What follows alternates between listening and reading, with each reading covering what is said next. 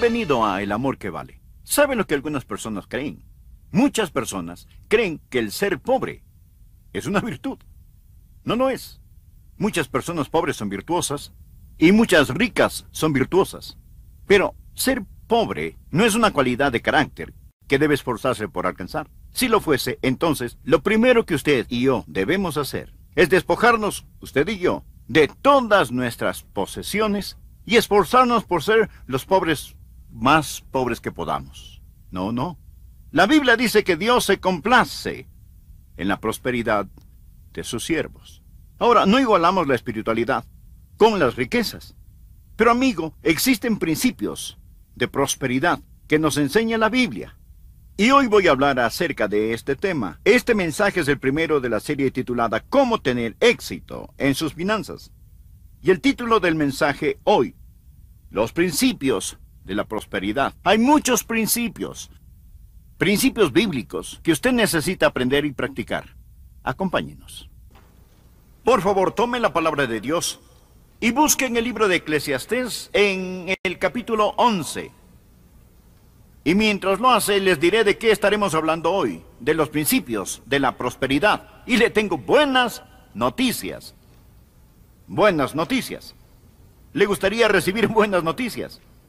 Aquí tiene una buena noticia. Dios quiere que usted prospere. Usted dice, pastor, no estoy seguro de eso. Voy a compartir algunos versículos en caso de que tenga alguna duda acerca de este asunto. Recuerde que vamos a estudiar Eclesiastés capítulo 11, pero anote al margen Salmo 1.3. Habla del hombre justo y dice, será como árbol plantado junto a corrientes de aguas, que da su fruto en su tiempo y su hoja no cae. Ahora escuche, y todo lo que hace, ¿qué pasará? Prosperará. Josué 1.8, nunca se apartará de tu boca este libro de la ley, sino que de día y de noche meditarás en él, para que guardes y hagas conforme a todo lo que en él está escrito porque entonces harás prosperar tu camino y todo te saldrá bien. Tercera de Juan, versículo 2. Amado, yo deseo que tú seas prosperado en todas las cosas y que tengas salud, así como prospera tu alma. Hace mucho tiempo leí acerca de un viejo minero que había estado buscando oro en alguna parte en el oeste norteamericano y que encontró lo que él pensó era la veta principal, pero lo que halló fue lo que se conoce como el oro de los tontos. Era mica, no era oro. Y él había llenado sus alforjas con mica, cruzado todo el desierto y al quedarse sin agua, él y su burro murieron. Cuando lo encontraron, con su oro de los tontos, también encontraron una pequeña nota que el minero había escrito antes de morir. Muero rico, con solo el oro de los tontos en las alforjas. Muchos tienen oro verdadero, pero se parecen muchísimo al minero. No entienden lo que son las verdaderas riquezas. Cuando hablo de prosperidad, no le hablo de darle las llaves de la bóveda del Banco Central de su país. Le estoy hablando acerca de la bendición y la responsabilidad fiscal y financiera. Le estoy hablando de algo más que simplemente vivir día a día, cobrar un salario. Creo que una de las cosas más tristes que he leído tiene que ver con un empleado del servicio de alcantarillas de una gran ciudad quien dijo, cabo huecos, para tener dinero, para comprar los alimentos que me dan la fortaleza para cavar más huecos. y esa es la forma en que mucha gente vive. Es decir, luchan por vivir mientras viven para luchar. Simplemente viven día a día, cobran su salario, viven desdichados en sus vidas. ¿Qué es prosperidad? ¿Y cómo puede tener la prosperidad? a la manera de Dios. Bien, en el libro de Eclesiastes, que fue escrito por el hombre más sabio que haya existido aparte del Señor Jesucristo, su nombre era Salomón. Permítame compartirle ocho principios de prosperidad sacados del capítulo 11. Anótelos porque puede usarlos si lo quiere. El principio número uno es el principio de la inversión. Inversión. Leamos por favor Eclesiastés 11.1. Echa tu pan sobre las aguas, porque después de muchos días lo hallarás. ¿De qué está hablando aquí? Habla acerca de hacer inversiones. Eso significa echa tu pan sobre las aguas. Salomón que escribió esto sabía mucho sobre inversiones y cómo invertía echando su pan sobre las aguas. Por favor, anote al margen, Primera de Reyes, capítulo 10, versículos 22 y 23, en donde se dice exactamente cómo Salomón hacía esto. La Biblia dice, porque el rey tenía en el mar una flota de nave de Tarsis con la flota de Irán. Una vez cada tres años venía la flota de Tarsis y traía oro, plata, marfil, monos y pavos reales. Así excedía el rey Salomón a todos los reyes de la tierra en riquezas y en sabiduría. Pero, ¿qué significa todo esto? Bueno, Salomón era un comerciante, un inversionista, invertía dinero en barcos y los enviaba navegando por los mares, estaba echando su pan sobre las aguas. Y esos barcos permanecían lejos hasta por tres años. Y cuando retornaban venían llenos de increíbles riquezas. Creo que probablemente por eso tenemos la expresión cuando los barcos vengan. De eso precisamente estamos hablando. Salomón era un inversionista y usted necesita aprender a invertir. Escuche, Mateo 25, versículos 24 y 25. Pero llegando también el que había recibido un talento, dijo, Señor, te conocía que eras hombre duro, que sigas donde no sembraste y recoges donde no esparciste, por lo cual tuve miedo y fui y escondí tu talento en la tierra. Aquí tienes lo que es tuyo. Aquí está, Señor, Tú me lo diste y te lo devuelvo. Si piensa que Dios estará satisfecho con que usted simplemente le devuelva lo que le ha dado, está errado. Eso no es buena mayordomía. Respondiendo a su señor le dijo, siervo malo y negligente, sabías que ciego donde no sembré y que recojo donde no esparcí. Por tanto debías haber dado mi dinero a los banqueros. Y al venir yo, hubiera recibido lo que es mío con los intereses. Quiere decir, debías haber invertido mi dinero debías haber permitido que crezca. Pero ahora escuche lo que Jesús dijo. Es para todos nosotros. Porque al que tiene le será dado y tendrá más. Y al que no tiene, aún lo que tiene le será quitado. Y luego añadió, y al siervo inútil echadle en las tinieblas de afuera. Allí será el lloro y el crujir de dientes. Aprenda esto. Usted es un administrador y lo que hacemos es administrar lo que Dios nos ha dado. Y como buenos administradores debemos hacer que esos bienes crezcan. Por lo tanto, necesitamos tomar lo que Dios ha puesto en nuestras manos y en oración preguntarnos cuánto de esto debo usar, cuánto debo dar, cuánto debo invertir para la gloria de Dios. Buenas preguntas. El principio número dos es el principio de la diversificación. Veamos Eclesiastés 11, versículo 2. Reparte a siete y aún a ocho, porque no sabes el mal que vendrá sobre la tierra. Ahora, otra traducción de este mismo versículo dice, adquiere acciones en varias compañías, porque no sabes lo que irá mal en el mundo. Esto significa en lenguaje común y corriente hoy, no pongas todos tus huevos en una sola canasta. Sencillamente no lo haga. Diversifique. Al hacer sus inversiones, Ponga algo por aquí, algo por acá, algo más allá, algo más acá. Es por ello que los especialistas en inversiones han desarrollado lo que llaman fondos mutualistas, básicamente para quienes somos neófitos y no sabemos cómo invertir en la banca. Lo hagamos en un fondo mutualista ya que es probablemente una buena opción, pero esté atento a nuevas ideas y oportunidades. Permita que Dios le hable. Como lo dice el versículo 2, practica el principio de la diversificación. Primero, inversión. Segundo, diversificación. No lo invierta en una sola cosa. ¿Lo entendió? Bien, sigamos adelante. Número 3. El tercer principio es el principio de la preparación. Leamos el versículo 3. Si las nubes fueran llenas de agua, sobre la tierra la derramarán. Amigos, cuando se ha acumulado suficiente humedad arriba, es que va a llover.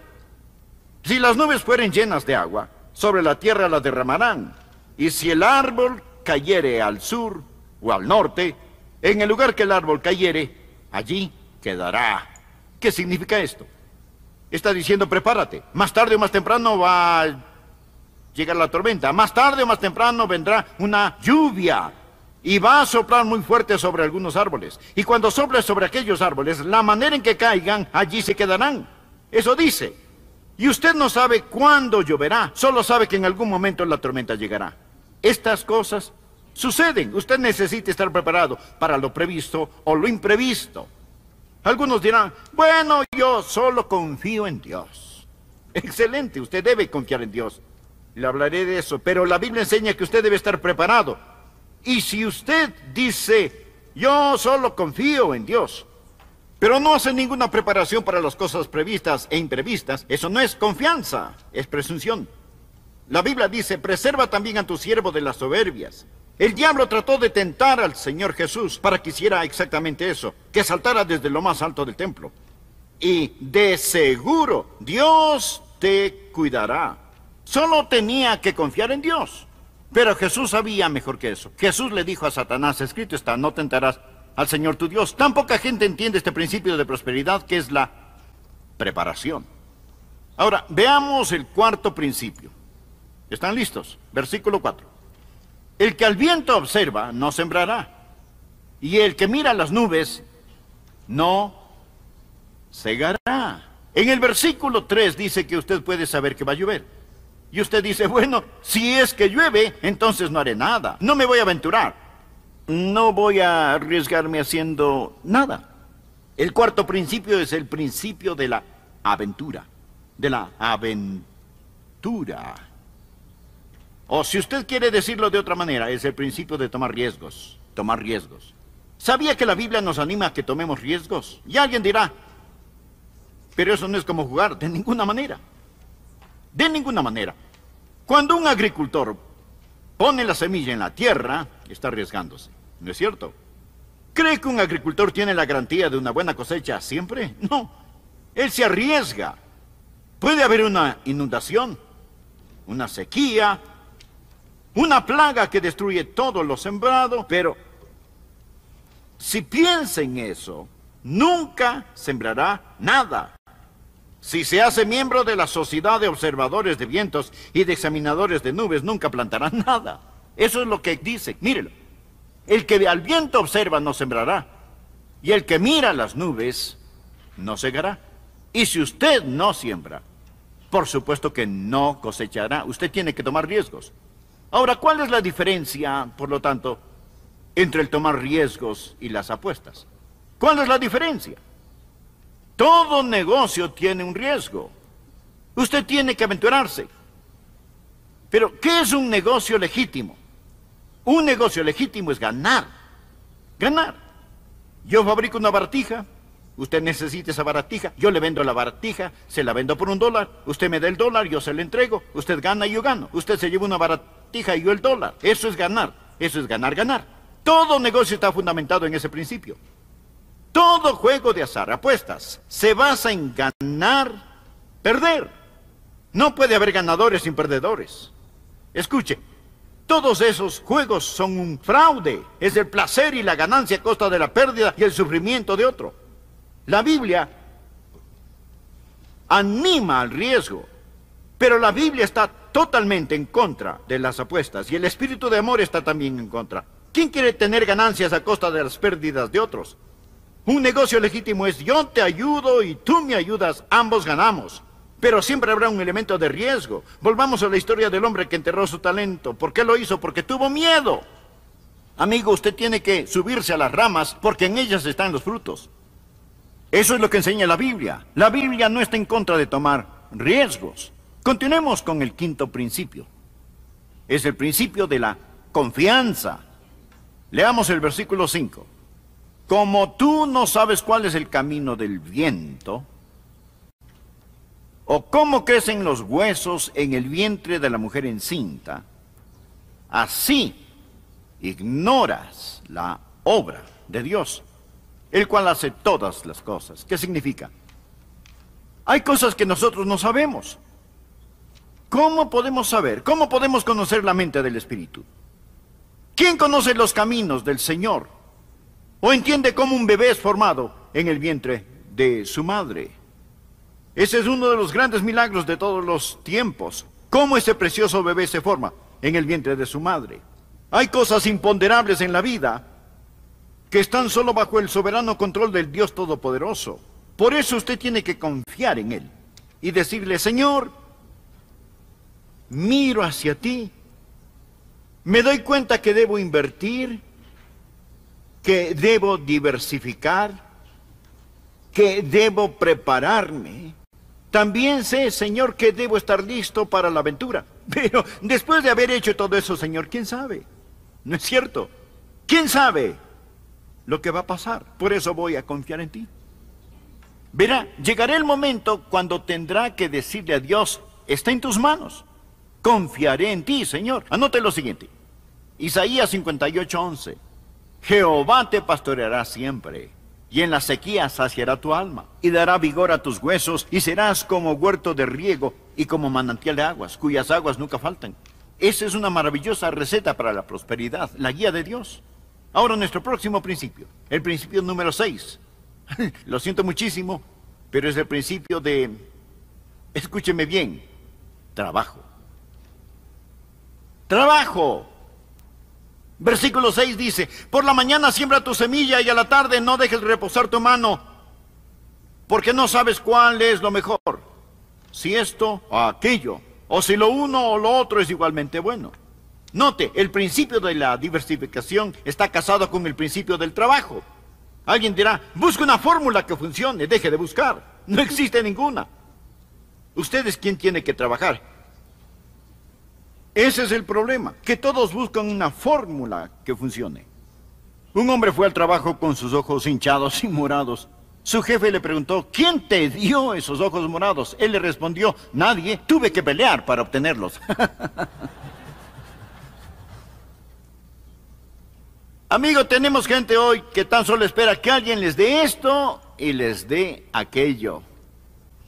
La Biblia enseña en Proverbios 14, versículo 23, en toda labor hay fruto. Proverbios 24, el perezoso no hará causa del invierno, pedirá pues en la ciega y no hallará. Proverbios 28, 19, el que labra su tierra se saciará de pan, mas el que sigue a los ociosos se llenará de pobreza. Ahora, segunda Tesalonicenses 3, versos 10 y 11, la mayoría se lo sabe, porque también cuando estábamos con vosotros os ordenábamos esto, si alguno no quiere trabajar, tampoco coma. Actualmente algo terrible sucede en los Estados Unidos. Motivamos a la gente a no trabajar, que solo procure conseguir la ayuda gubernamental. Eso es un crimen contra la persona que está pagando para pagar la manutención de ellos y contra quien la recibe. Y si usted está pensando que soy duro de corazón o está acusándome de indiferente con los pobres o cosas por el estilo, no conoce mi corazón. Tengo un corazón lleno de compasión para ellos. Pero estamos haciendo algo terrible en los Estados Unidos. Estamos despojando a los jóvenes, por el ejemplo del gobierno, del gozo de un empleo honesto. No son solamente las áreas de pobreza las que tienen problemas. Hablo a muchos que me escuchan. ¿Sabe qué es lo que usted ha sustituido por el trabajo? El crédito. Más de la mitad de la población norteamericana tiene tarjetas de crédito. Más de un billón de tarjetas de crédito circulando en el mundo representan 328 millones de dólares en deudas. Un crédito a 25% de interés, más o menos. 25% de interés. Muchos gastan su salario antes de recibirlo. Le llaman tarjetas de crédito, se llaman tarjetas de deudas. Y seguramente muchos de ustedes están enfrentando esa realidad. En Proverbios 22, 7 leemos, el rico se enseñorea de los pobres y el que toma prestado es siervo del que presta. Hay el principio de trabajo. Ahora, rápidamente, hay el principio de la perspectiva. Veamos los versículos 7 y 8. Suave ciertamente es la luz y agradable a los ojos ver el sol. Pero aunque un hombre viva muchos años y en todos ellos tenga gozo. Acuérdese, sin embargo, que los días de las tinieblas serán muchos. Todo cuanto viene es vanidad. ¿Qué está diciendo? Dice, goza de la vida, pero sin olvidar que vendrán días malos. Tarde o temprano nos enfermaremos o moriremos. Hay que mantener esa realidad en perspectiva. Goce de la vida. Dios quiere que así lo haga. Goce de las buenas cosas de la vida. En 1 Timoteo 6, 17 leemos, es Dios quien nos da todas las cosas en abundancia para que las disfrutemos. Pero recuerde esto. No se olvide del principio de la perspectiva. Esto no es todo. Uno de estos días nos enfermaremos. Uno de estos días bajaremos a la tumba. Es, es lo que este versículo dice. Pero aunque un hombre viva muchos años y en todos ellos tenga gozo, acuérdese sin embargo que los días de las tinieblas serán muchos. Todo cuanto viene es vanidad. Es decir, si nuestra esperanza está en este mundo, entonces hemos sido desdichados. Por último, el principio número 8 es el principio de responsabilidad. El principio de responsabilidad. Somos administradores. Veamos los versículos 9 y 10. Alégrate, joven, en tu juventud y tome placer tu corazón en los días de tu adolescencia y anda en los caminos de tu corazón y en la vista de tus ojos, pero sabe que sobre todas estas cosas te juzgará Dios. Quita pues de tu corazón el enojo y aparta de tu carne el mal, porque la adolescencia y la juventud son vanidad. Eso es, madurar. Madurar. Dejar el pesimismo abandonar el pecado, vivir sabiamente, porque somos administradores. Y pronto, muy pronto, compareceremos ante Dios. Y Él nos preguntará, ¿qué es lo que hiciste con lo que yo confié en tus manos? Usted necesita orar, Señor, ¿cuánto de esto debo usar? ¿Cuánto de esto necesito ahorrar? ¿Cuánto de esto necesito invertir? ¿Cuánto de esto necesito dar? Porque, Señor, nada de esto es mío. Señor, todo te pertenece. Y sé que pronto, muy pronto voy a estar ante tu presencia. Y soy un administrador. Ahora escúcheme. Y escúcheme bien. Lo que usted llama suyo no lo es. Usted es un administrador, un administrador. Los propietarios tienen derechos, los administradores tienen responsabilidades. ¿Me oyó? Los propietarios tienen derechos y usted no es propietario. Usted es administrador. Dios es quien posee los derechos. Usted es un administrador. Un administrador. Le diré esto. Le hablo de la prosperidad. Y el hombre más sabio que caminó sobre esta tierra, en sandalias, dijo, porque ¿qué aprovechará al hombre si ganare todo el mundo y perdiere su alma? ¿O qué recompensa dará el hombre por su alma? Su alma es más valiosa que los certificados bancarios, los rubíes, los diamantes, las esmeraldas, la educación, las fuerzas armadas del gobierno. Ponga todo esto junto y su alma es más valiosa que todo eso. No sea como el viejo minero que dijo, bueno, muero rico. Si usted muere sin Jesús, usted muere en pobreza. Pero si usted tiene Jesús, ya es rico. Hemos hablado de la prosperidad. La Biblia habla de la prosperidad del alma. Amado, yo deseo que tú seas prosperado en todas las cosas y que tengas salud, así como prospera tu alma. ¿Es su alma próspera? ¿Es espiritualmente saludable? ¿O su alma está enferma? Piénselo. Usted puede recibir al Señor Jesucristo hoy. Y no importa lo que tenga en el banco puede tener riquezas eternas. Y eso no es simple fantasía, amigo, es una realidad bíblica.